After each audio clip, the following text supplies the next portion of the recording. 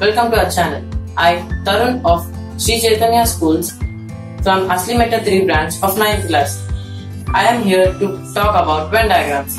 First of all, I dedicate this project and thanks to my math teacher named after Pramla Reddy ma'am.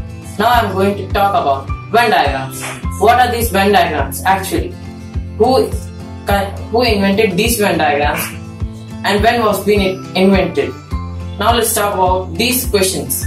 Venn diagrams. This was being introduced by John Venn and it was being introduced in the year 1880.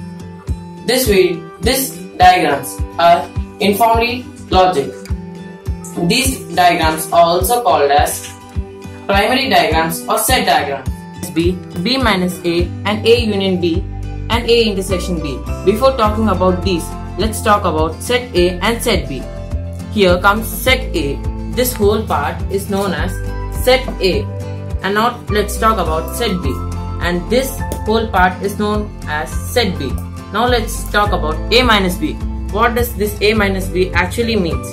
This A minus B actually means that taking out of similar parts from the set A is known as A minus B.